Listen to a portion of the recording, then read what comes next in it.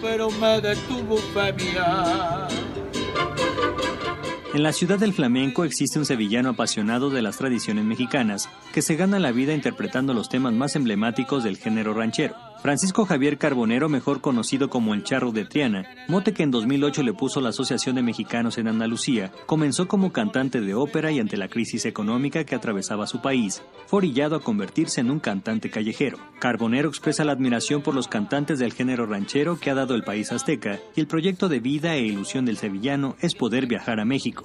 Los temas que más interpreta son El Rey, Cielito Lindo, La Tertulia, Juan Charrasqueado, Paloma Negra, México Lindo y Querido, Ella y Canción Mixteca, entre otras.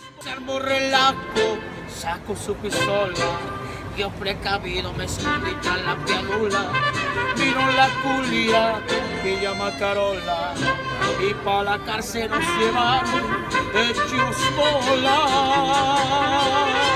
Con información e imágenes de Claudia Pacheco, enviada Notimex.